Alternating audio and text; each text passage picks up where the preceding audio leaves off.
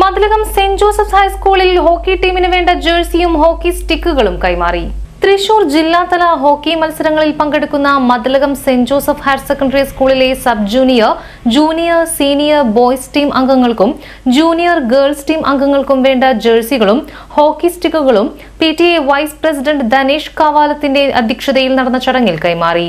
Senior junior boys team അംഗങ്ങൾക്കുള്ള jersey sponsor ചെയ്ത hot bun ബേക്കറിക്ക് വേണ്ടി ഉടമ ഉമറും junior girls sub junior boys team അംഗങ്ങൾക്കുള്ള jersey sponsor ചെയ്ത പൂർവ വിദ്യാർത്ഥി സംഘടന കോസ്മോസിന് വേണ്ടി കോർഡിനേറ്റർ ഹംസ വൈപ്പിപ്പാടത്തും പ്രസിഡന്റ് ആസ്പിൻ അഷ്റഫും കൈമാറി.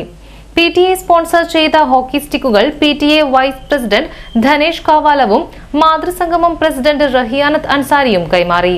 ചടങ്ങിൽ പ്രധാനാധ്യാപകൻ V K Mujeeb Rahman Cosmos secretary Anilkumar C V Joy Pandippilly Sageer കായികാധ്യാപകൻ Sajith master തുടങ്ങിയവർ സംസാരിച്ചു. നാല് ടീമുകളിലായി എഴുപത്തിരണ്ട് കുട്ടികളാണ് ഹോക്കി പരിശീലിക്കുന്നത്. ജില്ലാ മത്സരങ്ങൾ നാളെ ആരംഭിക്കും.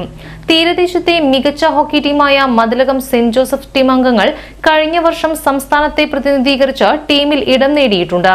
ടീമിന്റെ ഉയർച്ചയ്ക്കും വളർച്ചയ്ക്കും വേണ്ട എല്ലാ സഹായ സഹകരണങ്ങളും ഉണ്ടാകുമെന്ന് കോസ്മോസ് ഭാരവാഹികൾ ടീം അംഗങ്ങളെ അറിയിച്ചു.